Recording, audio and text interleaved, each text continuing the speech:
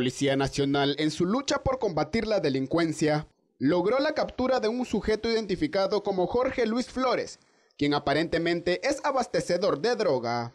Este individuo transitaba sobre la calle principal del mercado Roberto Güembes, lugar donde agentes policiales lograron su captura.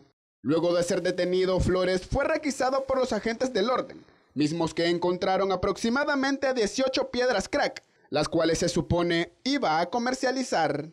Debido a lo requisado, autoridades trasladaron al sujeto al Distrito 5 de la Policía Nacional, donde se le aplicará la ley ante el delito cometido. A diario autoridades realizan planes de seguridad ciudadana con el fin de combatir la delincuencia en el país y brindar mejor protección y seguridad a la ciudadanía. Reportó en Crónica TN8 Christopher Manzanare.